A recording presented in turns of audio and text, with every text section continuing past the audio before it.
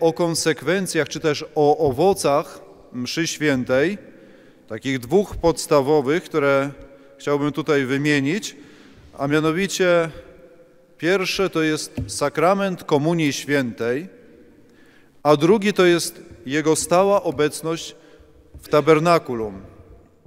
Jest drabina do nieba, jest drabina do nieba. Mimo, że Komunia Święta nie jest tym samym, co msza święta i w niektórych sytuacjach, kiedy nie możemy przystąpić do Komunii Świętej, na przykład już przyjęliśmy tego dnia kiedyś komunię na przykład i jesteśmy drugi raz na mszy świętej, to oczywiście wtedy nie możemy przyjąć Komunii Świętej, co nie zmienia faktu, że możemy otrzymać bardzo wiele łask z racji obecności naszej modlitwy i uczestniczenia we mszy świętej.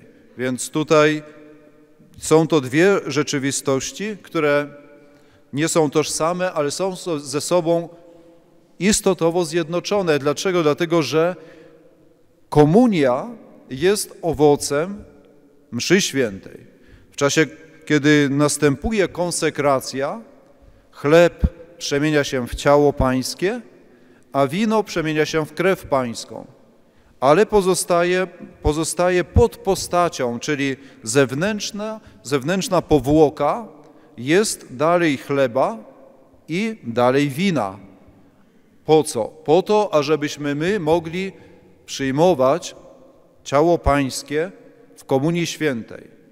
I jest to bardzo ważne, ażeby korzystać z tego przywileju, którego dostąpić nawet nie mogą aniołowie, ponieważ aniołowie nie mają zmysłów i nie mogą, nie, nie, spożywają pokarmu, nie dostępują tak wielkiej łaski, jaką może dostąpić człowiek, który może tak ściśle zjednoczyć się z Synem Bożym, przyjmując komunię świętą.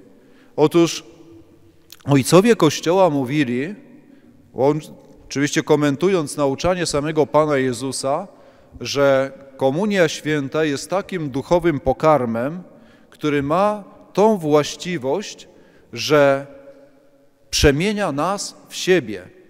Normalnie, kiedy spożywamy pokarm, to my ten pokarm niejako przetwarzamy i wchłaniamy w siebie. On staje się dla nas budulcem, on staje się źródłem energii dla naszego życia, natomiast w momencie, kiedy przyjmujemy komunię, następuje zupełnie coś odwrotnego. Wtedy, kiedy my przyjmujemy komunię świętą, to Pan Jezus niejako wchłania nas w siebie. Pan Jezus niejako przemienia nas w siebie, daje nam życie. Mówi Pan Jezus, kto spożywa ciało moje i pije krew moją, ma życie w sobie. To życie jest życiem nadprzyrodzonym, życiem duchowym, czyli jest to przede wszystkim życie łaski. Pan Jezus daje nam łaskę uświęcającą albo ją pomnaża i ta łaska uświęcająca czyni nas dziećmi Bożymi, czyni nas miłymi Panu Bogu. Stąd tak bardzo jest ważne, ażebyśmy tą łaskę mieli. I zobaczcie, skoro Pan Jezus wybrał postać pokarmu, to po to, ażeby przede wszystkim z nami się jednoczyć.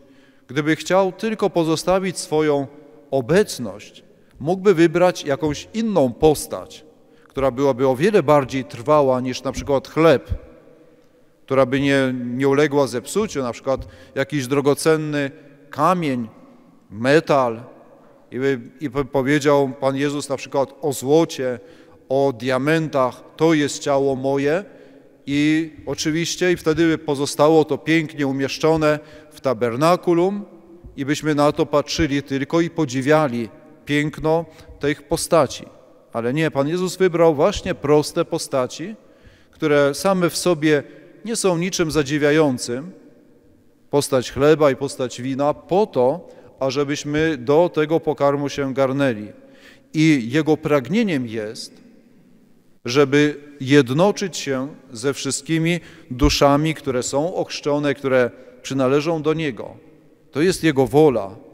I tutaj wielkie szczęście dla nas, że papież Pius X święty nasz patron, dał ten przywilej, tą możliwość dla każdego katolika, ażeby przystępować do Komunii Świętej często, a nawet codziennie. Były takie czasy, kiedy to, ten dostęp do Komunii Świętej był znacznie bardziej ograniczony. Wiele dusz świętych odczuwało wielki głód tego chleba eucharystycznego, ciała pańskiego, ale dyscyplina Kościoła była wtedy bardziej wymagająca i można było przystępować rzadziej, o wiele rzadziej do Komunii Świętej niż w naszych czasach. I te dusze, mimo że wiele cierpiały, to przez pragnienie, przez tą komunię pragnienia otrzymywały wiele łask. Natomiast zobaczmy, jak się odmieniły czasy, to się okazało, że pojawiło się wiele dusz letnich, które mając możliwość, mając dostęp nieograniczony tak na dobrą sprawę do Komunii Świętej, są opieszali i nie korzystają z tego wielkiego daru, tylko mówią, a może kiedyś, może za jakiś czas, może jak się przygotuję, to wtedy pójdę. O, pewnie pójdę na święta, tak? Już niedługo Boże Narodzenie, więc zapewne wtedy pójdę do, e, do spowiedzi i wtedy przystąpię do Komunii Świętej. Oczywiście jak najbardziej pięknym zwyczajem jest przyjąć ciało Pańskie w czasie Bożego Narodzenia. Ale przecież nie powinniśmy się ograniczać. Jeżeli wiemy, jak Pan Jezus nas bardzo kocha i zarazem, jeżeli my mówimy, że Go kochamy, to dlaczego się od Niego uciekamy, stronimy? Dlaczego się do tego nie przygotowujemy, ażeby przyjąć Pana Jezusa w Komunii Świętej? Jakie są warunki te niezbędne, ażeby przystąpić do Komunii Świętej? Tak naprawdę bardzo, niewie, bardzo niewiele od nas się wymaga. Można powiedzieć zupełnie odrobina. Takie podstawowe dwa warunki, jakie są konieczne do spełnienia, o czym poucza nas święty Pius X, to jest stan łaski uświęcającej i prawdziwa czy też dobra intencja.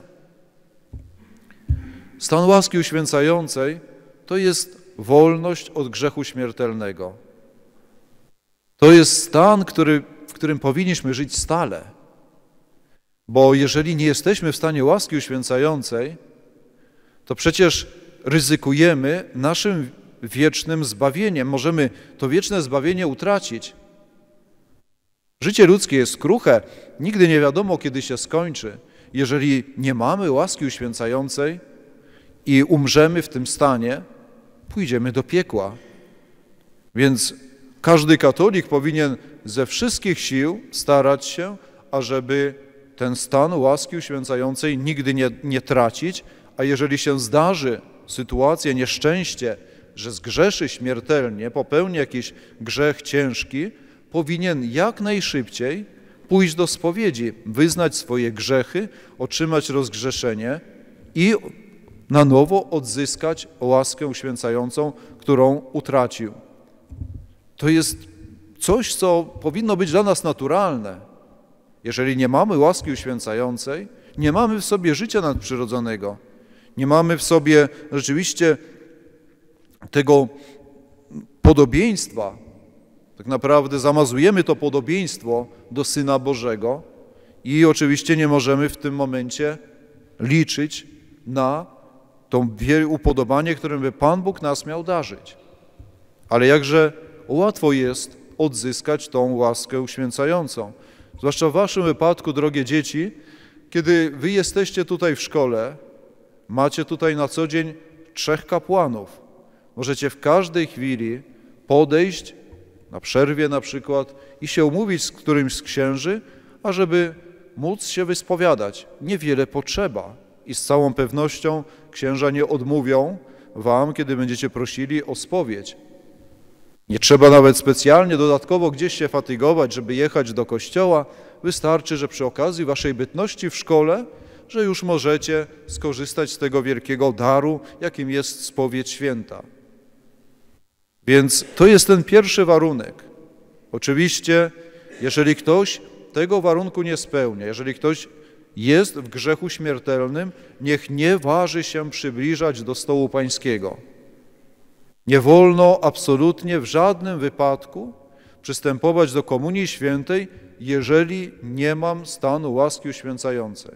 Wtedy oczywiście jak pierwsza, pierwsze kroki kierujemy do konfesjonału i prosimy Pana Jezusa o przebaczenie w konfesjonale.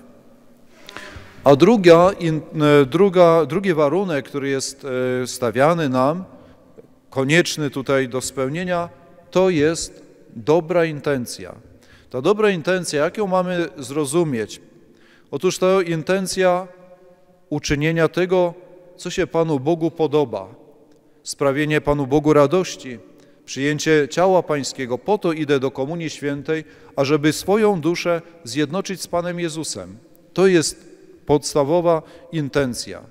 Ponieważ zdarza się niestety też i tak, że niektórzy tej dobrej intencji niestety nie mają, a mianowicie przystępują do Komunii Świętej ze względu na ludzi albo ze względu na jakąś tam pychę, żeby się innym pokazać, że oto ja jestem tak, na przykład, że jestem dobrym człowiekiem i teraz idę do Komunii Świętej, żeby inni widzieli, jaki jestem cnotliwy, jaki jestem pobożny. Albo żeby mama się nie czepiała, albo tata, żeby się nie czepiał, no to, bo wiedzą i oczekują, że powinienem przystępować do sakramentów, no to idę do Komunii Świętej, dlatego, żeby mieć święty spokój od swoich rodziców. Wtedy rzeczywiście postępujemy trochę tak jak Judasz, który całuje Pana Jezusa nie dlatego, że go kocha, tylko dlatego, że chce jakiś tam swój zysk otrzymać. Tego unikajmy z całego, z całego serca, ponieważ możemy zamiast otrzymać wiele łask, możemy ściągnąć na siebie wiele, wiele kar Bożych. Pan Jezus mówi, że ten, kto niegodnie przyjmuje ciało pańskie, ten wyrok spożywa. Będzie winien ciała i krwi pańskiej. Więc tego, dlatego też tutaj ta, ta pierwsza sprawa jest dla nas bardzo ważna, żeby do Komunii Świętej zawsze przystępować w stanie łaski uświęcającej i kierować się w tym wszystkim miłością do Pana Jezusa i dobrem własnej duszy. Ale następna rzecz, nie mniej ważna, jest przygotowanie bezpośrednie. To można powiedzieć jest takie przygotowanie dalsze, spowiedź, dobra intencja, ale powinno być również i przygotowanie bezpośrednie. Jeżeli to jest tak cenne spotkanie, jeżeli będę gościł w swoim, swoim sercu samego Syna Bożego, to to serce powinienem przygotować przez modlitwę, przez dobrą intencję, przez właśnie wzbudzenie aktów wiary, nadziei i miłości do Pana Jezusa, który do mnie przychodzi. Stąd możemy się jak najbardziej posłużyć książeczką. Są tam piękne modlitwy, które nas przygotowują do Komunii Świętej, aczkolwiek również i możemy własnymi słowami Pana Jezusa zaprosić do serca, kiedy jesteśmy nam przy świętej, zbliża się moment Komunii Świętej, wzbudzić sobie wiarę, że oto w tej hostii, którą kapłan za chwilę mi poda, jest ciało Pańskie. Powiedzieć Panu Jezusowi, jak bardzo pragniesz, ażeby przyszedł, żeby On przyszedł do Twojego serca. Wyraź Mu swoją miłość, przedstaw Mu swoje pragnienia. A potem następna, następny aspekt to jest dziękczynienie po Komunii Świętej. Niestety bardzo wiele katolików zaniedbuje ten, ten właściwie zaszczyt być z Panem Jezusem w momencie, kiedy On substancjalnie jest w nas. Często ludzie szybko uciekają z kościoła, z kaplicy, bo różne rzeczy są ważniejsze, natomiast zapominają o tym, że mają Pana Jezusa. Otóż pewien święty, święty Filip Neri, który też miał wielką pobożność, a zarazem też takie poczucie humoru, chociaż sytuacja może była nie, nie, nie ale chciał właśnie w taki sposób pokazać pewnej, pewnej osobie, która zapominała o dziękczynieniu, A mianowicie, kiedy po raz kolejny święty zobaczył, że dana osoba po przyjęciu komunii świętej zaraz wychodzi z kaplicy, kazał ministrantom zapalić świece i z tymi świecami towarzyszyć tej osobie. I ta osoba była taka zdziwiona, bo tu nie stąd, nie zowąd ministranci w sutannach, w komrzach ze świecami idą za nią, kiedy ona już wychodzi z kościoła, nie wiedząc, co tu się dzieje. I wtedy wraca do tego świętego Filipa Nereusza, a ten jej tłumaczy, przecież ty jesteś żywą monstrancją. Ty masz w tym momencie w sobie substancję ciała pańskiego, dlatego też ci ministranci adorują to ciało, niosąc światło, żeby pokazać tą, ten wielki dar, który jest w Tobie w tym momencie. Stąd też, kiedy przyjmujemy komunię świętą, starajmy się zostać sam na sam z Panem Jezusem. Święta Teresa od Jezusa mówiła, że to jest moment uprzywilejowany. Zobaczcie, wtedy rzeczywiście macie w sobie, w swoim sercu Pana Jezusa i bez żadnych przeszkód możecie Mu powiedzieć wszystko, co chcecie Mu przekazać. Wszystkie wasze sprawy, wszystkie troski, wszystkie problemy, wszystko możecie w tym momencie Jemu przekazać tak po prostu z serca do serca. Więc zamknijcie się wtedy w swojej duszy i trwajcie u stóp Pana Jezusa.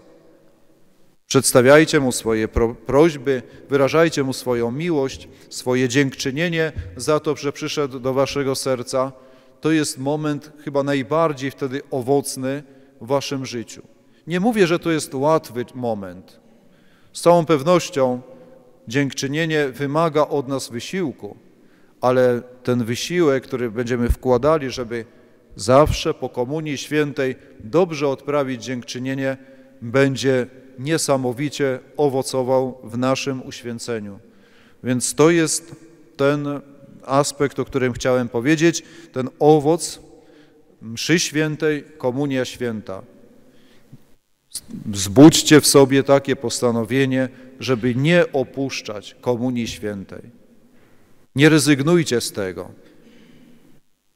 Nie, nie zostawiajcie tego pokarmu, który tak jest bardzo potrzebny i nie, um, żebyście nie umierali z głodu duchowego, kiedy na wyciągnięcie ręki jest to pokrzepienie, które możemy codziennie przyjmować. I druga, drugi aspekt to jest obecność Pana Jezusa w Najświętszym Sakramencie. Msza święta się skończyła, komunia święta została rozdana, ale te hostie, które pozostały, są zamknięte w tabernakulum i są tutaj i w dzień i w nocy. Pan Jezus nie opuszcza tabernakulum ani na moment – Dopóki są te hostie konsekrowane, dopóty On jest więźniem. Po co? Po to, żebyśmy my mogli do Niego przyjść.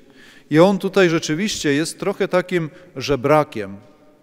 Jest jako tym, który żebrze, ale przecież nie o pieniądze. Nie prosi nas, żebyśmy mu dali pieniądze, nie prosi, żebyśmy mu dali jakieś jedzenie, nie prosi, żebyśmy mu dali ubranie. On tego nie potrzebuje. On jest tutaj żebrakiem, który prosi o naszą obecność i naszą miłość. I rzeczywiście to jest taki specyficzny boski żebrak, który się nie narzuca. Tak naprawdę pozostaje w ciszy. Jedynie ta czerwona lampka wskazuje nam, że On tu jest. Przypomina nam, że On tutaj jest zamknięty, że stale na nas, na nas czeka.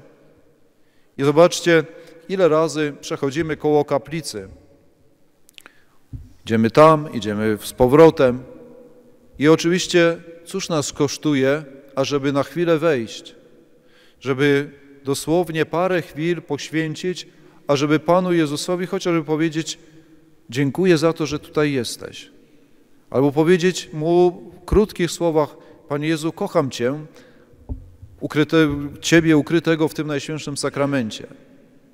Albo idziesz na trudną lekcję, będziesz miał jakiś sprawdzian, jakąś kartkówkę, przyjdź i poproś Pana Jezusa o pomoc, o łaskę, ażebyś sobie poradził z tym zadaniem, które masz przed sobą do wykonania.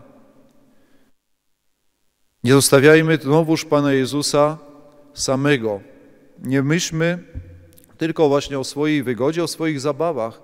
Zawsze każdą przerwę możemy chociażby na moment poświęcić, chociażby moment poświęcić do tego, ażeby przyjść tutaj do tabernakulum, ażeby uklęknąć i w ciszy pobyć z Panem Jezusem. Stąd to jest znowuż wielki zaszczyt. Ja w swoim dzieciństwie niestety nie miałem takiej możliwości, żeby być, żeby w szkole mieć tabernakulum, kaplicę. Absolutnie było to niemożliwe.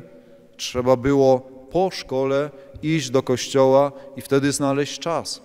Wy macie tutaj rzeczywiście piękną, piękną wygodę, że tak powiem, że w każdym, każdym momencie, każda przerwa, każda chwila można sobie poświęcić na to, ażeby Pana Jezusa nawiedzić. Więc nie zaniedbujmy tego. Nawiedzeniach, w tych cichych momentach, kiedy jesteśmy przed tabernakulum, myślę, że to są takie szczególnie ważne i uprzywilejowane momenty do duszy, kiedy Pan Jezus bardzo wiele mówi do serca ludzi, którzy potrafią znaleźć odrobinę czasu, żeby z Nim posiedzieć w milczeniu. Tutaj oczywiście warto sobie przypomnieć tego parafianina z Ars, który przychodził po ciężkiej pracy w polu, codziennie wieczorem do kościoła, siadał w ostatniej ławce i patrzył na tabernakulum. I ten człowiek był wielkim mistykiem, był, był człowiekiem, który był rzeczywiście bardzo zaprzyjaźniony z Panem Jezusem, ponieważ kiedy go proboszcz, święty Jan Wianej, zapytał, co on tam robi, kiedy tak sobie siedzi w ławce, to ten człowiek z prostotą powiedział, że ja patrzę na niego, on patrzy na mnie. I zobaczcie, w tym milczeniu tabernakulum Pan Jezus mu wytłumaczył niesamowicie wzniosłą rzeczywistość takiego nawiedzenia. Często jest tak, że jakieś problemy wydają się nam nie do rozwiązania, jakieś kłopoty, jakieś trudności. I jak się przyjdzie na adorację, jak się zostanie właśnie w samotności przed tabernakulum, często się zdarza tak, że w sercu czujemy, że, że przecież rozwiązanie danego problemu jest bardzo proste. Przecież naprawdę niewiele potrzeba, ażeby wyjść z jakiegoś kłopotu. Ale to się do, dokonuje tu i to jest mały cud, nie, nie, taki nie, nie, niedostrzegalny dla innych, ale to jest rzeczywiście w ten sposób Pan Jezus przemawia do nas właśnie w Najświętszym Sakramencie. Dlatego też chciałbym tutaj Was bardzo serdecznie zachęcić, ażeby będąc tak blisko tych wielkich darów, jakimi są msza święta, komunia święta i obecność Pana Jezusa, ażeby z tego hojnie korzystać, żeby nie marnować tego czasu, kiedy można rzeczywiście w tej szkole nie tylko zdobywać wiedzę, która oczywiście jest dla Was bardzo ważna, ale też i zdobywać tą miłość Bożą, która jest dla Was jeszcze bardziej ważniejsza, bo wiedza jest w służbie tego celu, którym jest Wasze zbawienie. Przez Waszą wiedzę musicie przybliżać się do Pana Boga, ale miłość, to trwanie przy Panu Bogu jest już niejako przedsmakiem, niejako już pewnego rodzaju zakosztowaniem tego zbawienia, które e, Was czeka po skończeniu tego ziemskiego życia. Jest drabina do nieba, jest drabina do